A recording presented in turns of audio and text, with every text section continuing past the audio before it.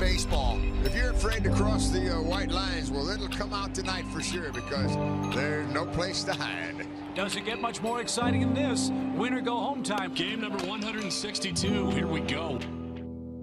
And as we have done for the last two nights, we will keep an eye on the game in Tampa Bay with the Yankees. Red Sox Tampa Bay tied for the wild card spot. And a strike taken by Ellsbury, and we are underway. 77 degrees on a perfect night. And a quick swinging strike to Jimmy Rollins. Here we go. The Rays taking on the New York Yankees.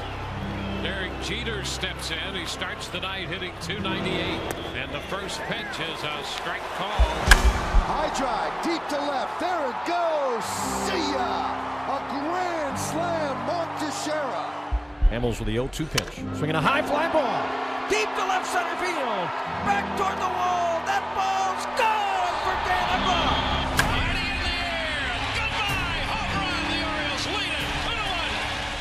Braves had the lead before our game even started. That was kind of uh, discomforting feeling, to be honest. We wanted to get out, get out early. After a half inning, the Cardinals lead it five to nothing. We couldn't control what happened in Tampa. But if we win our game, the worst thing that happens is we go and play another game the next day. It is gone. Pedroia puts the Red Sox ahead.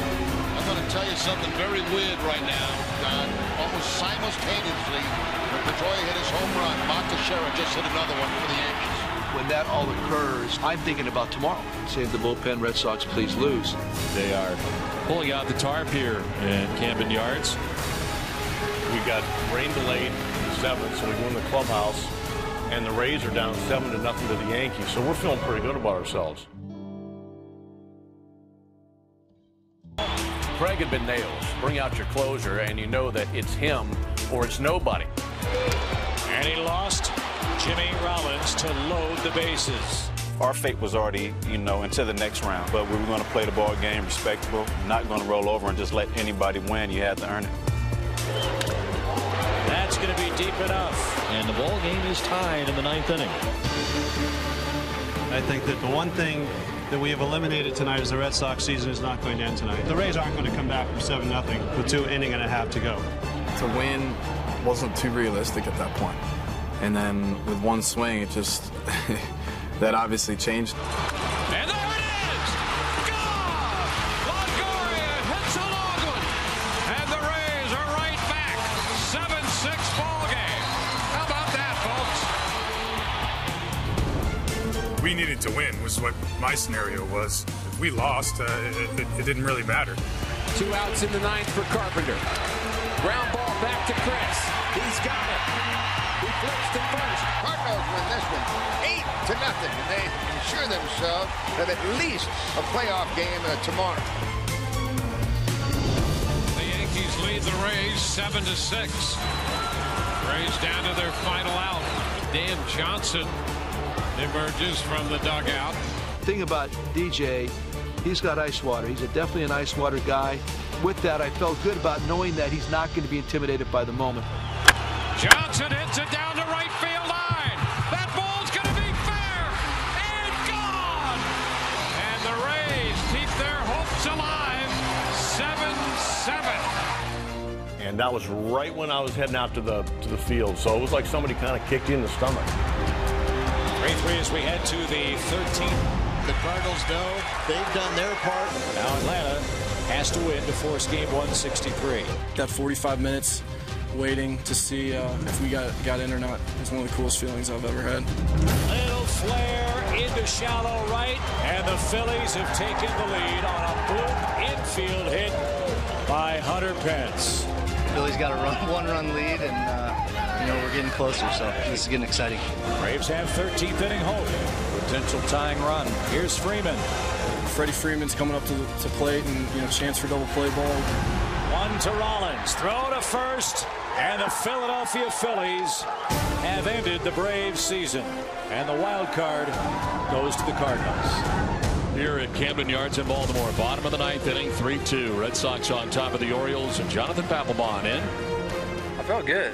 Um, I felt really good, actually. Reynolds strikes out, and there's two down in the ninth. game ain't never over. You got to get 27 outs. And if there's 26 outs, that's not 27. The hardest out to get is that final one.